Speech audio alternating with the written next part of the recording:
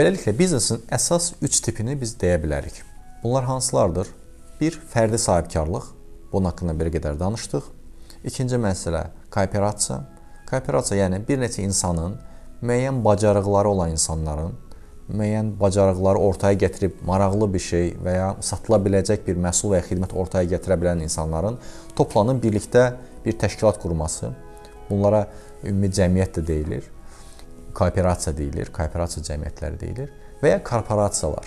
Korporasiyalar bizim ən çox bu günümüzdə rastlanan MMC və LLC-lərdir və bu şəkildə təyin oluna bilən müxtəlif təşkilatlardır. Açıq səhmdar cəmiyyətləri, qapalı səhmdar cəmiyyətləri və s. Bunun yanında şirkətlərin başqa qruplaşması var ki, bu qruplaşmalar onların necə gəlir qazandığını izah edir.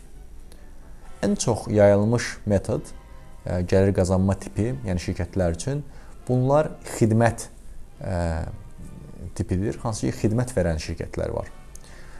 Çünki bu şirkətlər ən çox yayılmasının səbəbi onun giriş baryerlərinin çox aşağı olmasıdır. Yəni istənilən insan öz bilik və bacarığını sata bilməsi əslində onun bir xidmət göstərməsi deməkdir.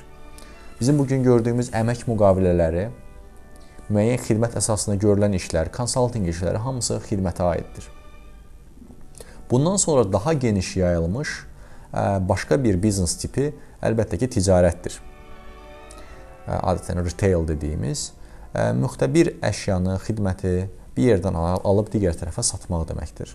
Və bu da çox yayılmış biznes tiplərindən biridir. Başqa bir forma franşiza, franchising modelidir.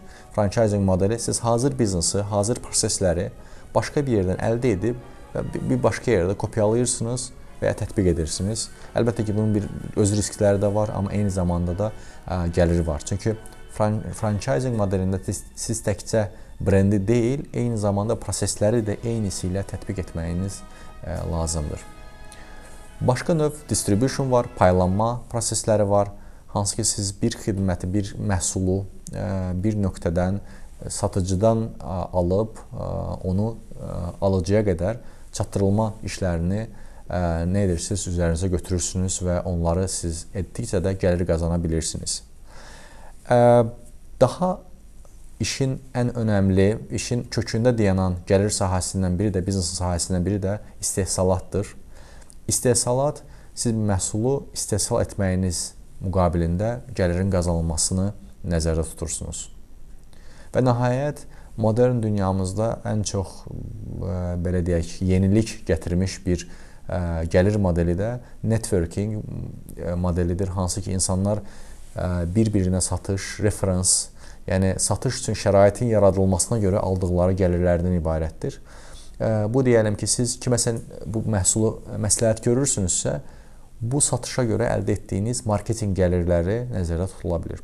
Əlbəttə ki, bu şirkət tipləri, bu gəlir mexanizmləri əsas gəlir mexanizmləridir. Bunun yanında çox daha fərqli gəlir mexanizmləri də əlbəttə ki, zaman keçdikcə biznes mühitində yaranmış olur. Bu gəlir tipləri arasında, bu biznes tipləri arasındakı fərqləri eyni zamanda gəlir qazanarkən insanların bu biznes modellərini necə tətbiq etməsi haqqında bilikləri biz ayrı videolarımızda da sizinlə paylaşacağıq.